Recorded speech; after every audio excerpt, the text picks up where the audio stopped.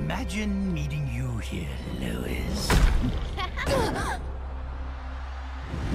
This is a priority call to all Justice League members. A woman is missing. She's one of ours. Her name is Lois Lane.